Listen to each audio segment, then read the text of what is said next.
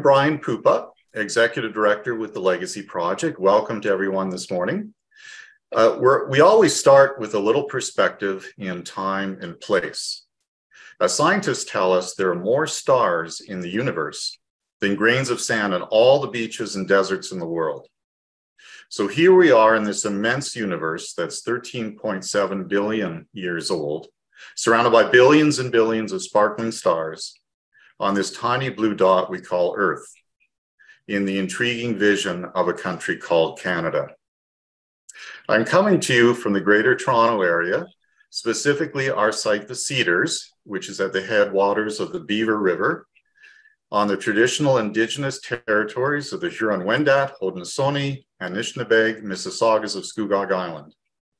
And we gather in the spirit of being in the right place at the right time with the right people doing the right thing. Uh, this session is titled A Bioregional Approach to Regenerating Our Land and Water. It's clear we're in a poly crisis, converging climate, environmental, economic, political, technological, social, and health crises. And there are no simple solutions, and this session doesn't propose to offer any. Uh, this is about designing a pathway forward with a new understanding of current local and global challenges. The seven generation work in the Greater Toronto bioregion is part of the first North American cohort of a global bioregional activators network. And this is an opportunity for us here to both lead and learn from other bioregions around the world. Uh, the seven generation Greater Toronto bioregion initiative draws on the seminal 1992 regeneration report by former Toronto Mayor and MP, the Honorable David Crombie. In his report, he defined the Greater Toronto bioregion as bounded by the Niagara Escarpment on the west, the Oak Ridges Moraine and Lake Simcoe to the north, and the Moraine to the east, and Lake Ontario to the south. And we're honored that both David Crombie and the Honorable Pauline uh, Browes are serving as honorary ambassadors for Seven Generation GTB. And we're honored to have Pauline with us this morning uh, she's a former federal minister of the environment. She was one of the founding members of the Save the Rouge Park Alliance Board and has been a passionate champion of protecting and restoring the sensitive ecosystems along the Rouge River. Her work resulted in the creation of Canada's first urban national park in the Rouge Valley. So I'd like to invite Pauline Browes to say a few words. Well, thank you very much, uh, Brian. Uh, I'm very excited about uh, this legacy project. And having had an opportunity to meet Joe Brewer uh, just a couple of days ago, uh, I became even more excited about what we can do. We've got some great building blocks here already. We've got this wonderful farmland in the north part of the of the bioregion. We've got the Niagara Escarpment on the west. We've got these wonderful hills of Old Northumberland on the east. So we do have some natural building blocks, but we also have some really good things that have happened. We've got the Waterfront Trail all along the Lake Ontario, which is uh, the Waterfront Regeneration Trust has been doing. The Conservation Authority has been doing wonderful work in terms of the Meadoway, as well as many other projects. And of course, I really do think that the focal, the anchor of this uh, of this bioregion is really the Rouge National Urban Park of 20,000 acres of land that so many people have been working in order to uh, to make this happen. So uh, where do we go from here? This is our this is our job. Uh, we've got some really inspiration from from Joe and Brian and uh, and uh, really the whole group that is working on this, and most appreciative of of York University, the City of Toronto, and the City of Markham of of funding this. So we've got the the political issues. We've got hope that the decisions are being made properly. We've got the economic issues to think about, the cultural issues, but we've got a great legacy that we can work on. And I'm very excited that uh, we've been able to uh, to uh, get this initiative underway. So thank you very much, and, and good luck to everyone. Thank you very much, Pauline. Uh, at this point, I'll bring in researcher, educator, and founder of the Legacy Project, Susan Bosak. Good morning. So, context is everything. I'm here to provide a little bit of that. The Legacy Project is a research, education, and social innovation group. We've been around for 20 years. We've been doing research and development uh, on different aspects of the seven generation work with funding from United Way, Trillium, ESDC. And now we find ourselves in a moment of both coherence and opportunity. So the work we do is systems complexity work, which means you probably won't understand everything this morning, which is fine because it is a very different way of approaching things. You also may wonder, okay, is this really connected to what I'm doing? And yes, it is. Otherwise, we wouldn't have invited you. It is certainly about your thing, but it's how your thing is connected to everyone else's thing. And those relationships and dynamics between all the parts. Often the parts are doing great work, but we don't do a good job of connecting all the parts so that they can work systemically for more meaningful impact. In the systems work we do, we talk about systems dynamics, and we're using two systems dynamics. The first one is we're using an intergenerational dynamic. Anthropologist Margaret Mead said that connections between generations are essential for the mental health and stability of nations. Think about that the mental health and stability of nations. That's big stuff. And in indigenous cultures, they will tell you that if you want to do something that makes a difference, that really gets something done, that you need to bring together a fired up youth and a feisty granny. And that's how you get things done. There's this dynamic power in intergenerational connections and relationships. So we can find comfort and well being in these relationships, which is important in a time of uncertainty. But we can also find power and we can find insight. And this allows us to get into communities in a very deep and authentic way. So that's one dynamic that we use. The other dynamic is place, and it's a very specific understanding of place. And that's why we have Joe Brewer here today to talk about place in terms of bioregion. So the intergenerational and place based dynamics ground the work, it gives it energy, and it's a way to affect not only grassroots community, but also leadership and policy. So we're going top down and bottom up at the same time. Seven generation GTB is about social regeneration, generations in community. It's also about ecological regeneration, community in bioregion we're doing this complex dance between mitigation, adaptation, and seed. So again, this is both broad and deep systems work. This could, I think, fundamentally affect how the GTA moves forward, connecting it into the Great Lakes Basin, connecting it into the continent, connecting it into the planet in a very meaningful way. So, this is big stuff that we're talking about systems, planetary systems stuff. With that, I would like to introduce our guest speaker this morning. He's a transdisciplinary scholar with a background in both earth sciences and cognitive sciences. He's currently doing on the ground regeneration work in a 500,000 hectare bioregion around Barichara, Colombia and he's helping to create a global bioregional network. He's founder of the Design Institute for Regenerating Earth and author of the Design Pathway for Regenerating Earth. And I personally know that he loves to pull invasive grass. So he's got his hands in there. I'm very pleased to turn it over to someone that I respect for his genuine dedication to the ecology and the wisdom of the land. Joe Brewer.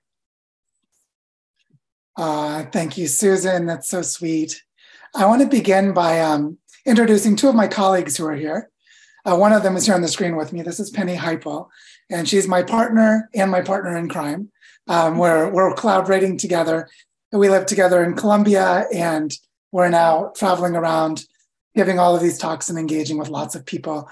And um, just to mention, her work is more focused on sensing and listening into the field and then also into body based healing practices and how we deal with collective trauma. And so, uh, individual and collective trauma, since they're often very strongly connected. And then also, Benji Ross is here on the on the call as a participant, calling in. He's currently in Arizona, although originally they're both from Colorado.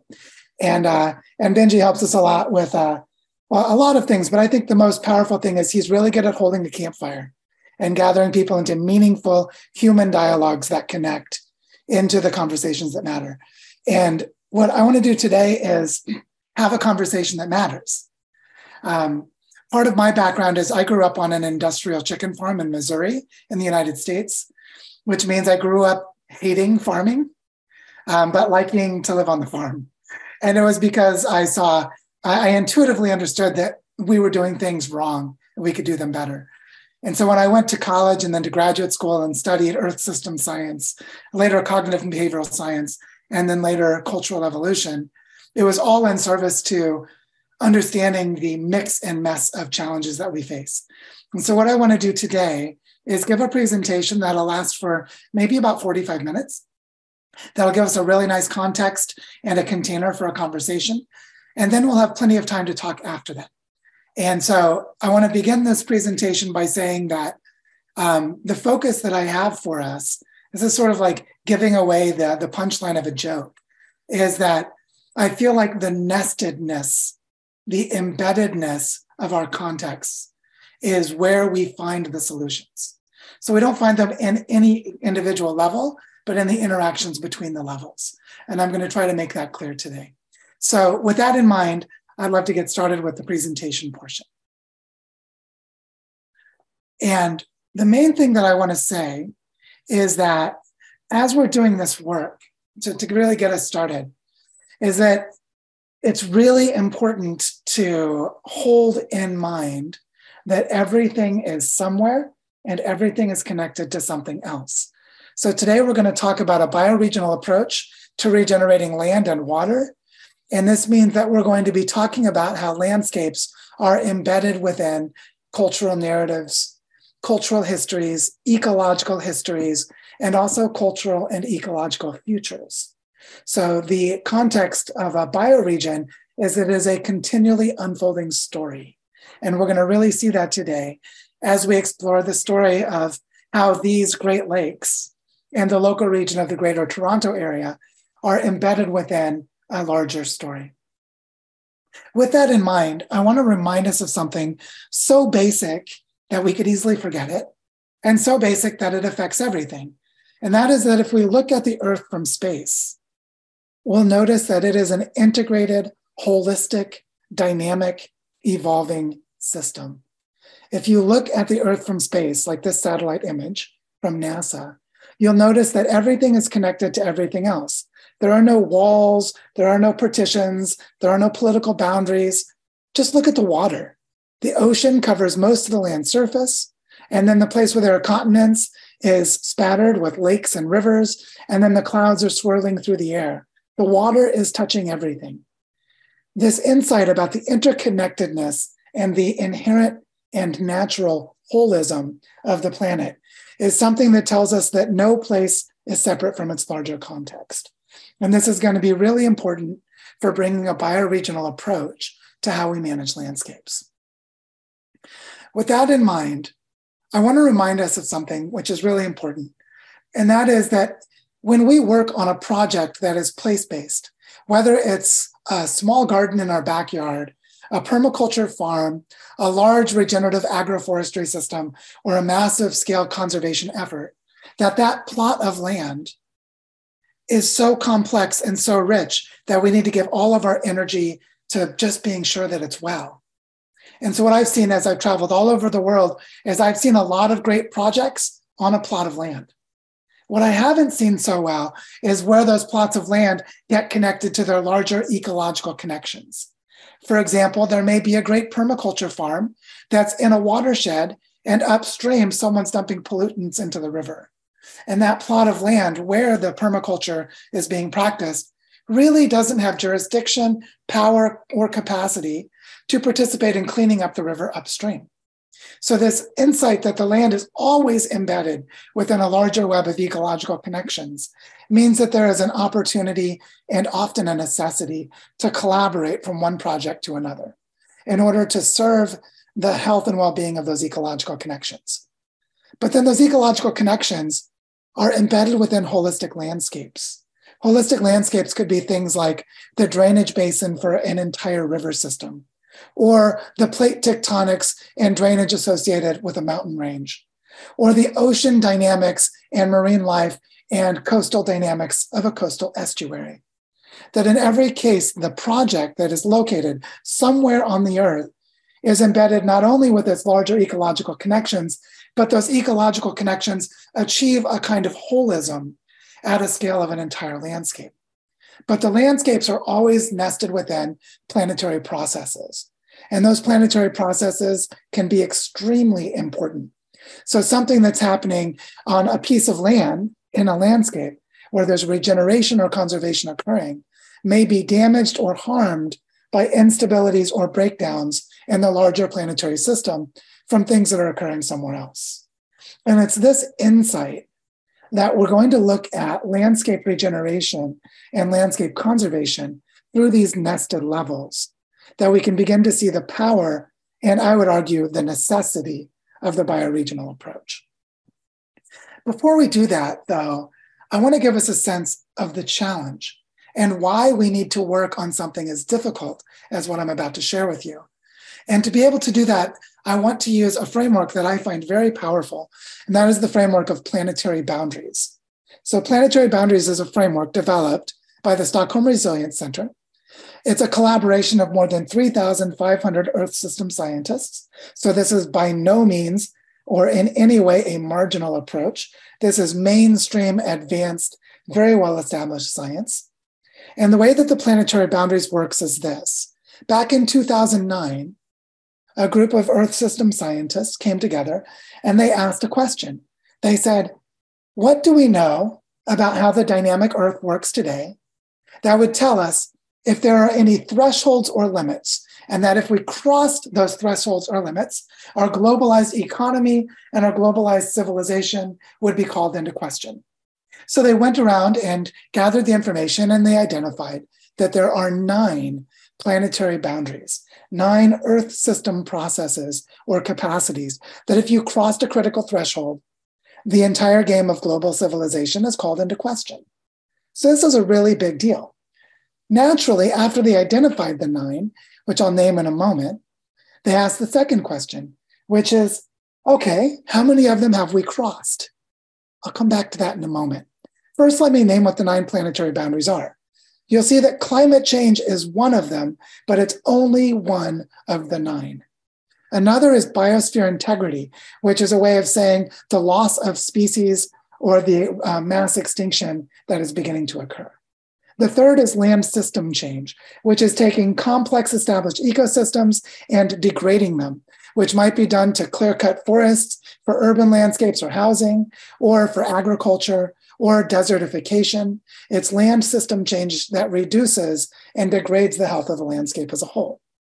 Then there's freshwater use. Then there's biogeochemical flows of phosphorus and nitrogen used to make synthetic fertilizers in industrial agriculture, which, when they run off in excess, cause massive dead poles, uh, dead, pool, dead zones in the world's oceans at the mouths of the rivers. Then there's ocean acidification, atmospheric aerosol loading, which is just another way of saying air pollution, stratospheric ozone depletion, because the ozone layer protects the land surface of the Earth from dangerous ultraviolet radiation. And then there are novel entities, something that's introduced that the Earth system can't process or handle. So, with these nine planetary boundaries, they asked, How are we doing? Which ones have we crossed?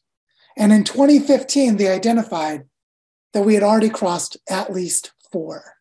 It wasn't that there were only four crossed, it's that the information and the state of the science was mature enough that they could say with certainty that we had crossed planetary boundaries for climate change, biosphere integrity, land system change, and biogeochemical flows.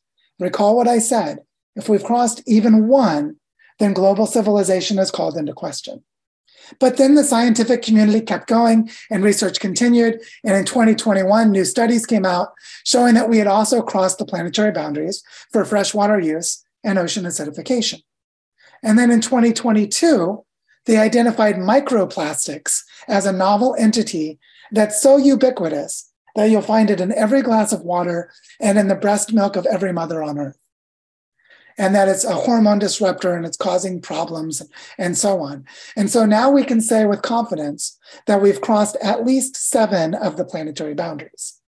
So the question becomes how do we manage the complexity of a destabilizing Earth system when what we do is we work at the level of projects and landscapes? And that's what we're going to talk about for the rest of our time today. And the way that I want to tell this story is I want to show how what happens in one landscape can connect to another landscape through indirect processes of the larger Earth system as a whole. I want to tell a story of interdependence. And this story takes place in sub Saharan Africa. Here on this map of Africa, you can see the area colored in blue, which is called the Sahel Desert. And the Sahel Desert is, in normal everyday language, we say it's the sub Saharan part of Africa. But the Sahel Desert is an area that had something happen that reveals this planetary interdependence. So I don't know if you remember all of those starving kids and all of the need to raise money and to bring food and supplies to people all over sub Saharan Africa in the 1980s and 1990s and early 2000s. But you remember all of those starving kids and really starving people of all ages? Well, do you know what caused them to starve? Because I didn't. And I was amazed to discover that it took 50 years to find the answer to say, why was there mass starvation in sub Saharan Africa in the late 20th century? The answer is this From 1870 to 1940, Europe was rapidly industrializing.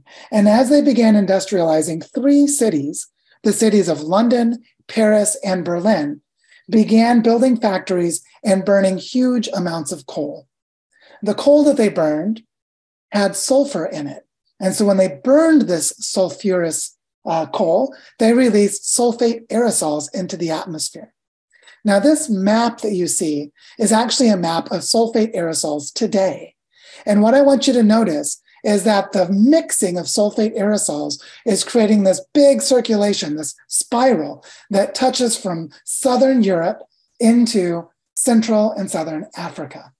Well, this was also happening from 1870 to 1940, which means that the sulfate aerosols that were released by the burning of coal between 1870 and 1940 were having an indirect effect which is that when sulfate aerosols get into the atmosphere, they help form clouds and they change the lifetime of the clouds at different elevations. Lower clouds burn up more quickly, higher clouds last longer. And this changed the distribution of heat in the atmosphere over Europe. And then that had the effect of shifting the weather patterns to the south in a place called the Intertropical Convergence Zone, which then shifted the weather patterns of what's called the inter, inter um, uh, it's not the it's the intertropical convergence zone for the Tropic of Capricorn in uh, in the southern hemisphere, which means they shifted the weather patterns in a cascade from the lower latitudes of the north to the lower to mid latitudes of the south. And this is what happened. The Sahel Desert in sub Saharan Africa had a very stable and consistent monsoon. And you can see it here in this green graph in the bottom of the image that between 1950 and about 1965, there was rain all the time. It came like clockwork. And then starting in 1965, the rains began to weaken and they shut off completely by 1970. The Sahel monsoon shut down, causing agriculture throughout Southern Africa to collapse and leading to violent wars, genocides, and mass starvations. What is now known is that the Sahel monsoon shut off because of that cascade of causation from the burning of sulfurous coal from 1870 to 1940. So this was invisible because the chain of causation was multiple different causes spread out in space and time. It spread over a long distance, a distance of about 8,000 kilometers north to south, between Southern Europe and, and Central Africa. It was delayed in time by a century. The industrialization began in 1870, and the accumulation up until 1940 meant that the monsoon shut down 30 years later in 1970. So people didn't know what the causes were. And that means there were interwoven narratives. Different stories were being told in different places at different times, and none of them could see this big, complex picture. And of course, there was a lot more than this going on too. But the lesson for us is this the earth is a whole system with cascading relationships and time delays. Because of this, breakdowns unfold across space and time. And so, this breakdown that unfolds across space and time places us at a profound kind of systemic risk. And what we're going to do today is talk about how to create systemic resilience with the same capacities of the earth, which is these interdependencies that we now know and that we increasingly understand as there are new advances in earth system science. So, to begin talking about how we apply a bioregional approach to landscapes, it's important to remember something very important and fundamental, which is that everything happens somewhere. So, where are we right now? We're right here in the middle of the Great Lakes, just north of Lake Ontario in the Greater Toronto area. We're in the middle of a, or we're in the midst of a large continent surrounded by two oceans on either side. And we're already seeing from the previous example with the Sahel monsoon that there are invisible patterns of connection and interdependence that place this region at risk or that this region could in the future help to stabilize. To help us get more familiar with where we are, I just want to ask you to think about this question because you can see that here in the greater Toronto area, we're embedded within a very important larger system, the Great Lakes. And if we ask ourselves how much water is in the Great Lakes, I've been surprised to learn that a lot of people don't know the answer to that, but also that what it's what it signifies about this place on the planet. You see, the Great Lakes hold about 20% of all the fresh water on Earth. This is significant because 99% of the water on Earth is salt water in the world's ocean. Only 1% of the world's water is fresh water. And of that 1%, 20% of that water is in the Great Lakes. So, just for perspective, this is the same amount of water as the entire Amazon rainforest. And now we all know that we need to protect the Amazon rainforest. It's a global asset of great strategic significance. But look at this nearly half of the fresh water on Earth is held in the Great Lakes together with the Amazon rainforest, which means the Great Lakes, in their own way, are just as important as the Amazon rainforest for the entire planet. So it's not just that you know, Lake Ontario is important to Toronto because it's on the edge of the lake, or that Toronto is close to the Great Lakes, so we care about what's happening with our neighbors. Is that this is a strategic planetary reserve with no parallel. There is no other Great Lakes on Earth. There is no place with this concentration of surface water. Even the Amazon, for it to gather the same amount of water, needs 200 river systems spread across half of a continent just to give you a sense of the concentration of this land area. And you can probably already see that what I'm doing is I'm preparing us to think about bioregions because I want us to see how the place we are is embedded in something larger. But then how do we draw the boundary for our bioregion? And this is where we define a bioregion. Bioregion is just a shorthand word for the phrase biological region. And so a bioregion is the entire context in which a life system can function for an entire biological population. And I think this really gets clear by saying that the entire life system of an organism and their whole population has some kind of a geography. And for me, I like to think of this with a, a simple example to really understand it. So I like to use starfish as my example because starfish have a very well defined geography. All starfish on Earth exist within what is called an intertidal zone of a coastline. This is a picture from the coastline of Oregon. And so this what this means is that the entire life system for all of the starfish is between the low water mark and the high water mark of the tides along a coastline. Everything they need to eat, all of the places they need to sleep and have a home, to reproduce, their entire life system is embedded within the intertidal zone. And the intertidal zone defines the bioregion for the starfish. I say it in this way because there's a history of bioregionalism that treats it as though it's a political movement, like the Back to the Land movement or a sovereignty of local people that's opposed to nation states. This is what happened in the 1960s and 70s. But actually, a bioregion is a technical term from ecology. It's a way of saying what is the biological geography for the entire population of a species that allows you understand how they're able to sustain themselves and survive into the future.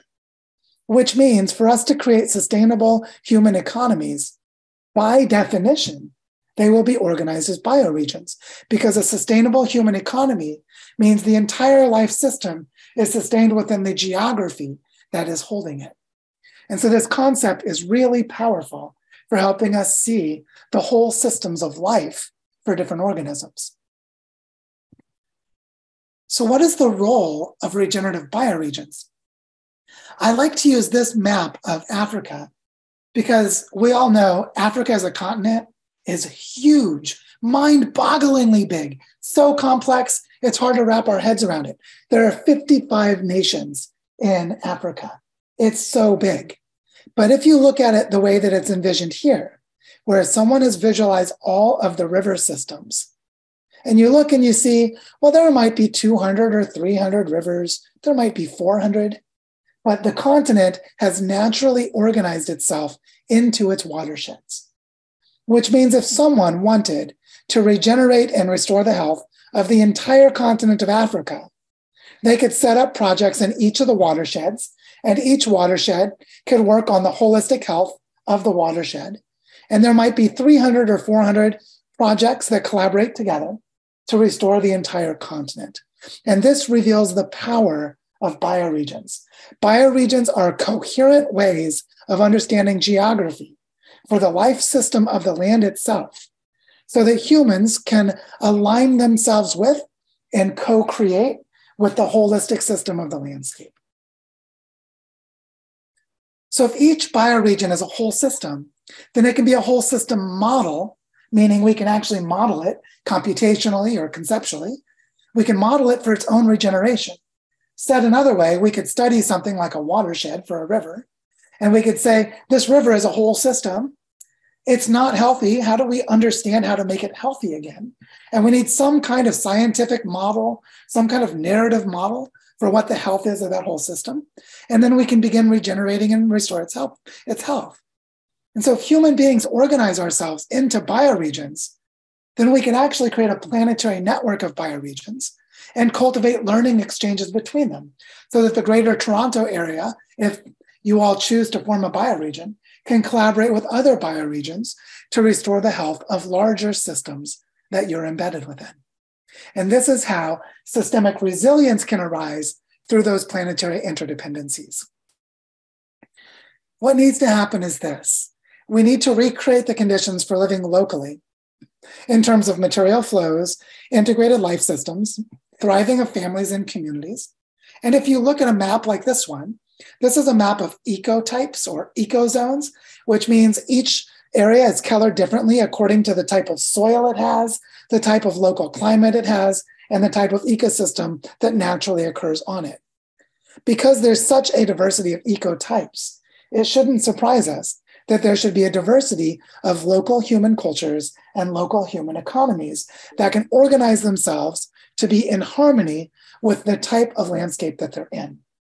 And this means that the bioregional approach understanding there's a natural geography for biological regions allows us to integrate ourselves into the type of landscape that we live within, and then create an, economy that is in harmony with it. Back in the 1970s, there was a famous study called Limits to Growth, which was the first ever computer simulation of the global economy to see how the material flows moved. And what they found was that there was a future collapse that came out of their computer simulations. So they started a 10 year process with some of the best thinkers of their time at major universities around the world. It was a group called the Balaton Group that did this research because they initiated at Lake Balaton in Hungary. And after 10 years, a summary was written up about what they discovered. Vernon Ruttan was an agronomist, so he's an agricultural economist, who was part of this research group. And this is something that he said. He said, each agroeconomic region is so unique that the concept of transfer of technology is irrelevant. What's relevant is the transfer of the capacity to develop technology and institutions that are consistent with the cultural endowment and resource endowment of each region. And then Donella Meadows, more popularly known as Dana Meadows, had this to say because she was the leader, uh, the lead person of this research project. She said, out of these 10 years of work came a vision of a number of centers where information and models about resources and the environment are housed. There would need to be many of these centers all over the world, each one responsible for a distinct bioregion. This essay that she wrote came out in 1983, 40 years ago. Can you imagine 40 years ago? The best thinkers of an entire generation asking, how do we achieve planetary sustainability? And they universally agreed the only way to do it is to create local living economies organized as bioregions with bioregional learning centers that model and guide their evolution as local landscapes. Notice that this doesn't say carbon dioxide emissions, it doesn't say electric cars, it doesn't say how to participate in the global economy. It says create local living economies organized as bioregions. 40 years ago, I was six years old when this report came out.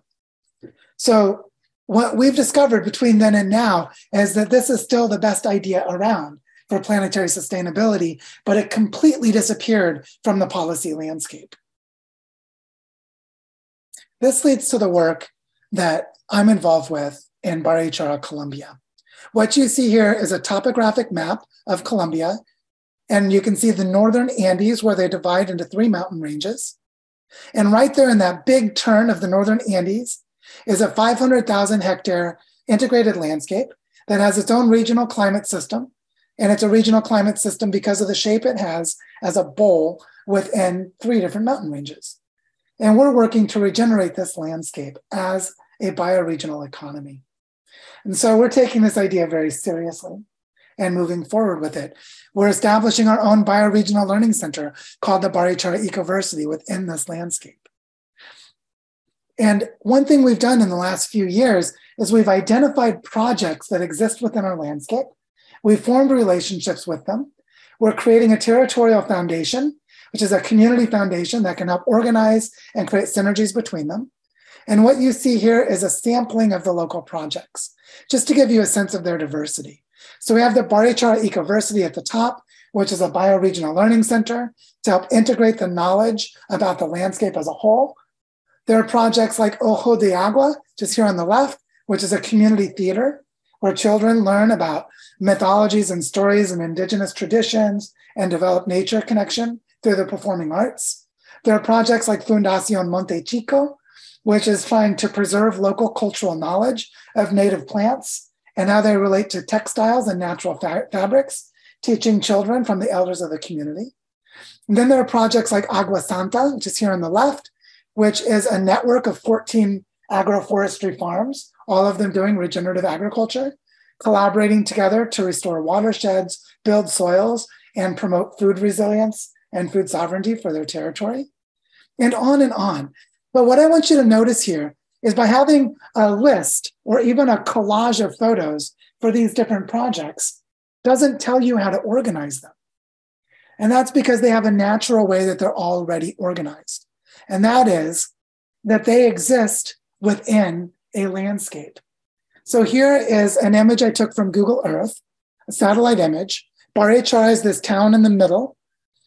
And you can see that all of the yellow uh, areas are locations of the different projects. Some of the projects are side by side. Some of the projects are in different parts of the landscape.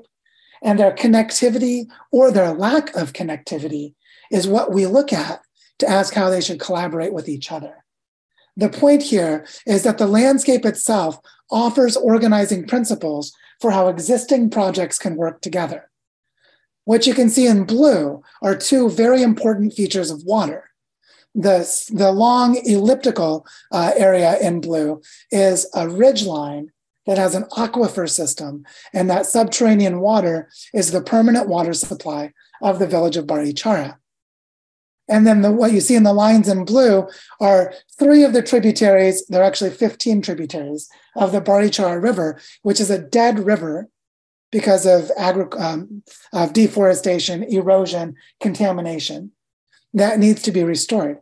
And you can see there are natural patterns of connectivity in the features of the land that relate to the shape of the land and the movement of water. And so we can start to organize the projects around the functions of the landscape by taking a bioregional lens and asking ourselves, what is the holistic system for life for this landscape as a whole? And this way of thinking tells us how to encourage collaboration between the existing projects and how to create new projects to create synergies between the existing projects that don't exist today. So the lesson is this the very same interdependencies of the earth that cause systemic breakdown and risk are what allow us to create resilience. See, creating resilience in our local place is a process of nested regeneration. Here in this vision of in this image of the earth, you can see sub-Saharan Africa and you can see Europe to the north. And remember, over the span of 100 years, the industrial activities of Europe caused mass starvation and genocide in Africa. What are the future risks of you that you have here in the Great Lakes because of these kinds of distant interdependencies? How does the nested nature of your reality create risks for you? And how could the nested nature of reality create resilience for you? This is the question. And so I want you to see that this way of organizing a continent around watersheds applies to all continents. Here is South America with all of its river systems. Notice that the Barichara Ecoversity is up there. That's where we have our own bioregional project regenerating 500,000 hectares of land. Those 500,000 hectares, as big and inspiring as it is, could not possibly regenerate the entire continent. But the Amazon River Basin is actually 200 rivers. So, what if other landscapes organize themselves as bioregions too.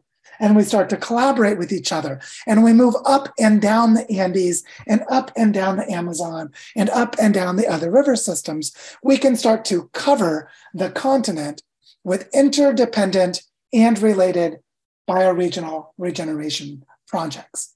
And in this way, we could regenerate the entire continent of South America. So now back to where we are. Here's Toronto and Lake Ontario. And I know you all are very aware of this, that you have one of the coolest landforms I've ever seen. You have a giant sponge, a giant sponge called the Oak Ridge Moraine. And this giant sponge is so big that first it took two and a half million years to form as ice sheets ground up the rocks to make gravel and, so- and sand. And also, I had learned from Wikipedia that this was the source of 29 waterways. But then I went to the Oak Ridge Moraine website and saw that there were actually 69 or no, 64. There were 64 waterways flowing out of the Oak Ridge Moraine, which of course is part of the Greenbelt that you have here. And so you have this incredible, almost embarrassing abundance of water because of this giant sponge, which means the greater Toronto area is very well positioned to have water security. And so, if you organize yourselves as a bioregion to really build this strength, you can start to work on the nestedness around you. So, here you are in Toronto, over in the lower right, but maybe you want to start to weave the waters, collaborate with people over in Lake Huron or Lake Erie, or just right up above you in Lake Simcoe, and start to see that you can collaborate with these larger watersheds because the Great Lake Basin is a planetary strategic asset. You might also realize, oh, we should collaborate with those people down in the Finger Lakes. They're just across the Lake Ontario from us. They have a different landscape, but we're actually all in this together. And by the way, those are some of the people that could receive the climate refugees from New York City and from uh, from Boston and from all of New England. That would mean less of them come and disrupt your landscape. And maybe you could help them to do that by collaborating with each other. You might work with sister cities like Cleveland down on Lake Erie, where we already know that Brian and Susan of the Legacy Project are collaborating with people down in Cleveland. Penny and I are going to Cleveland next week to have conversations just like this one. Maybe you'd collaborate with them to set up sister bioregional projects. And of course, you have in your backyard the largest forest on Earth. The boreal forest is twice the size of the Amazon.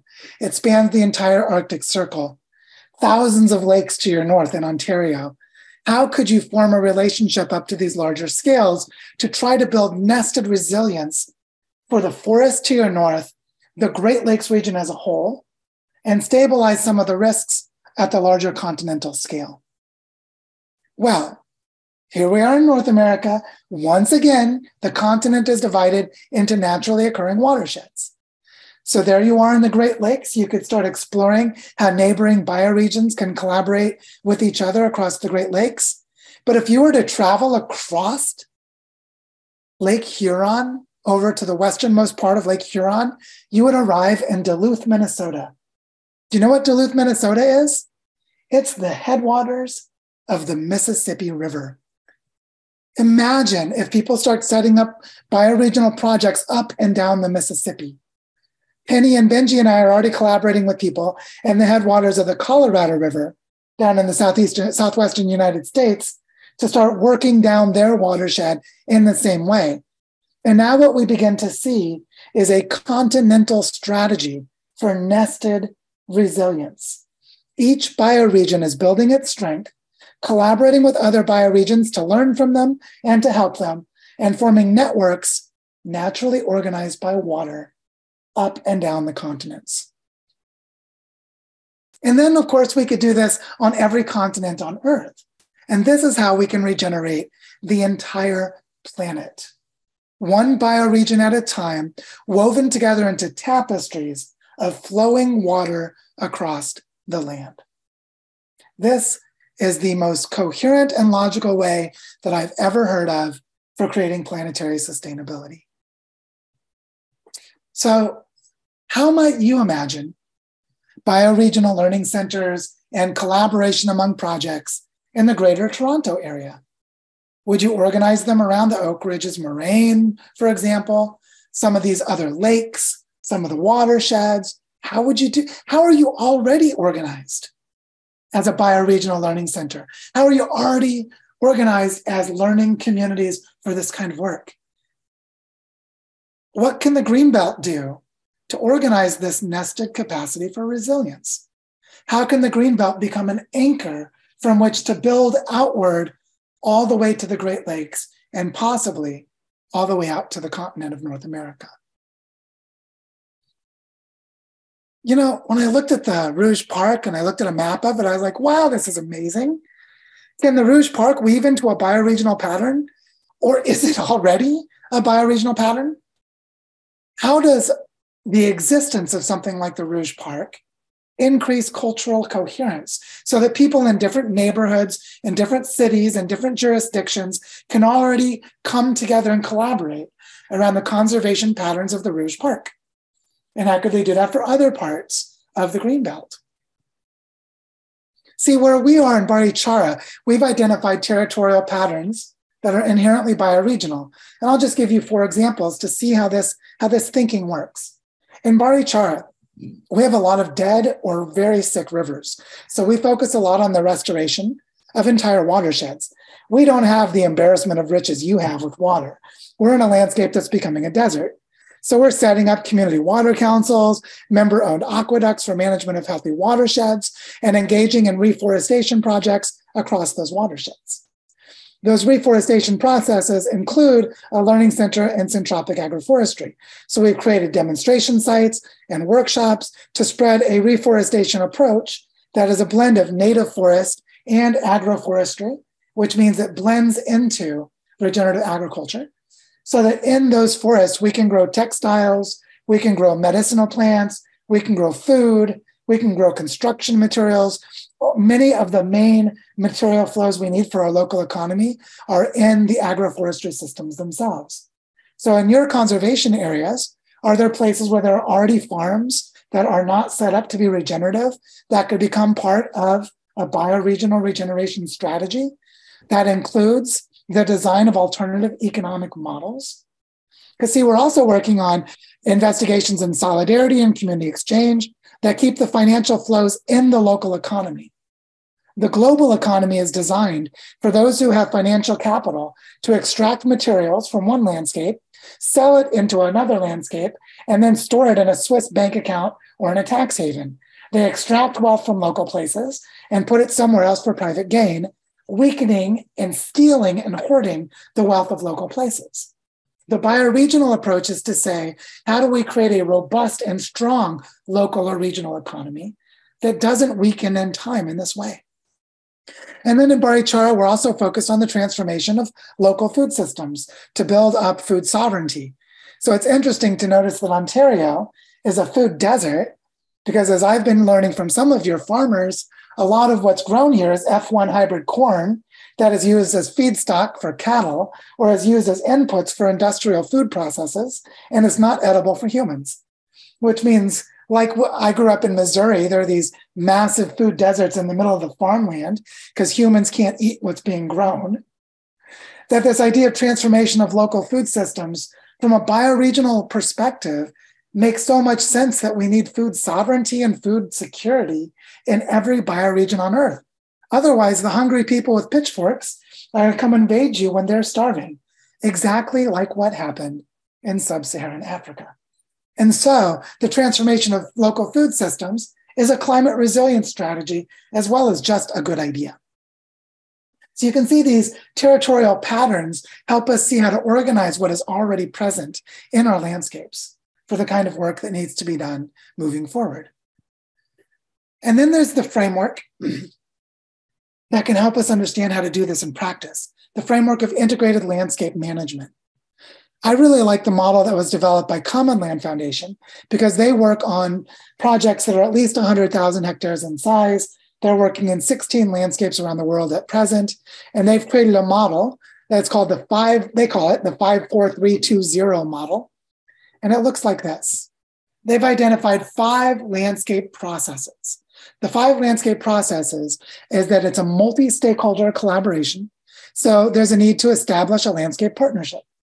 That landscape partnership is able to reach a shared understanding about what the landscape is, how it came to be the way it is today, and explores possible scenarios for the future. From that learning process, they build a landscape plan.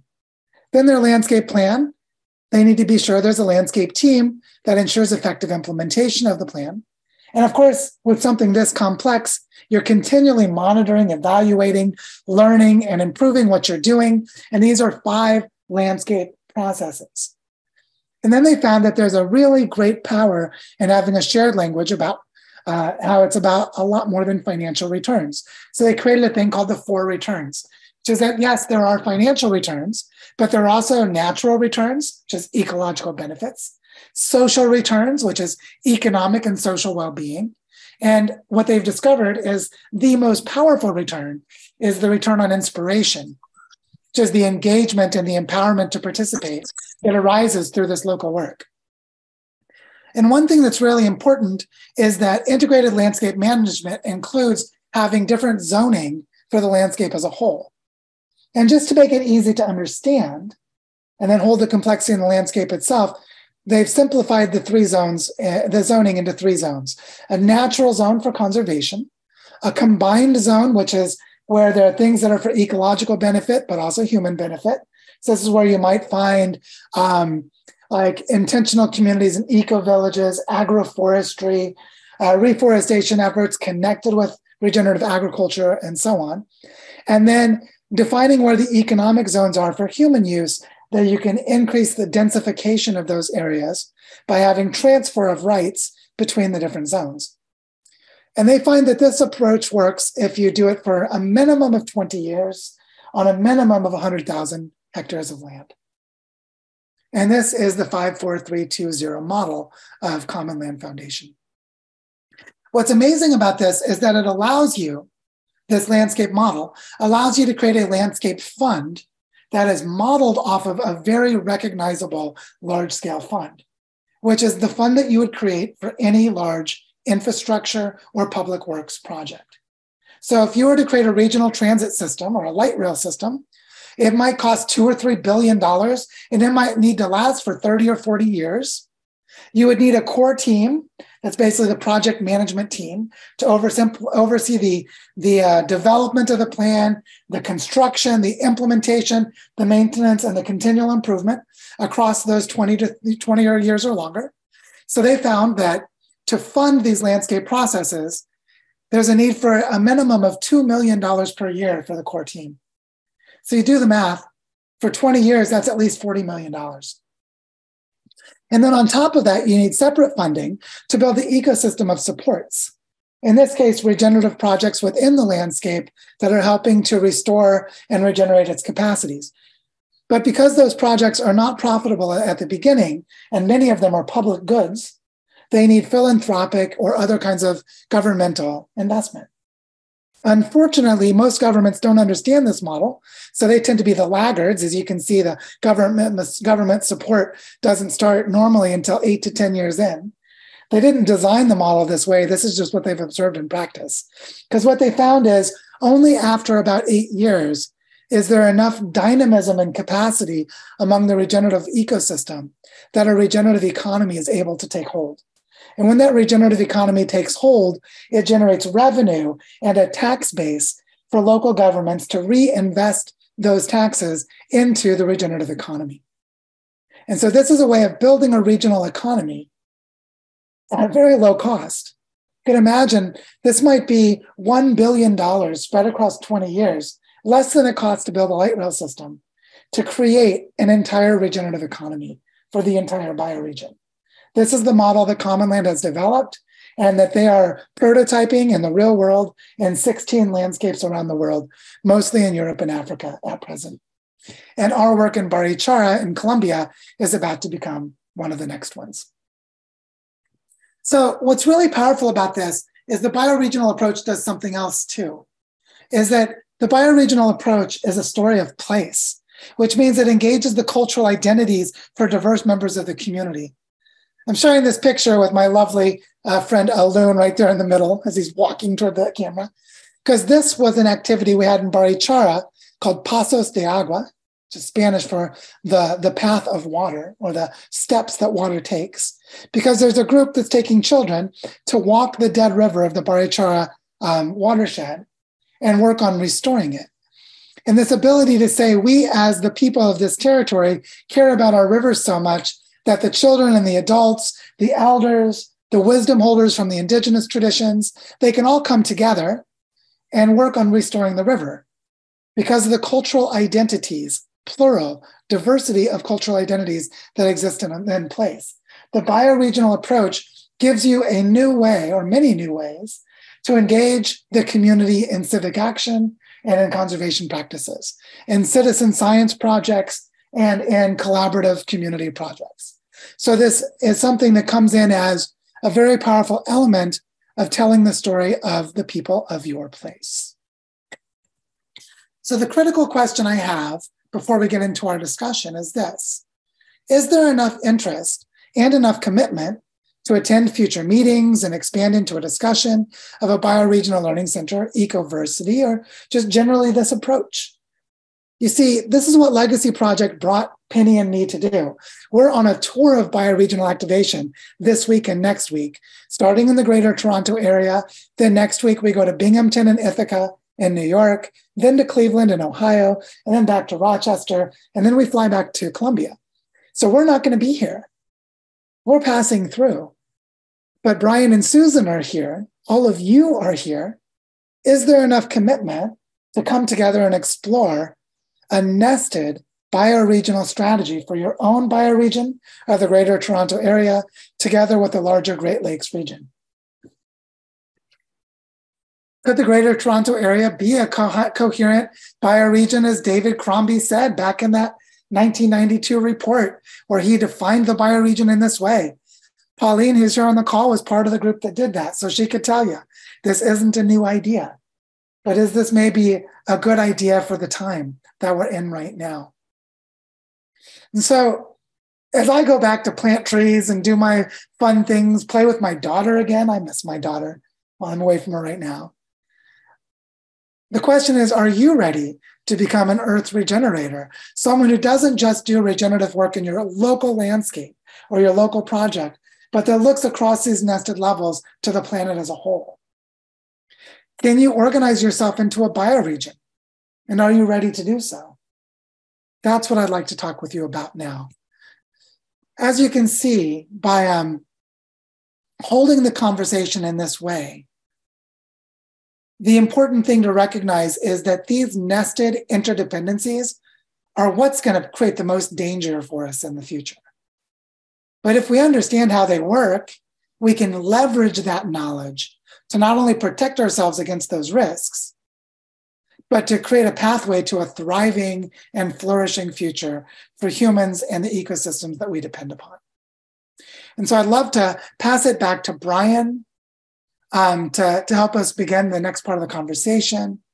And then, and if Pauline has anything she'd like to share, I'd love to hear from her, but maybe I'll go to Brian first.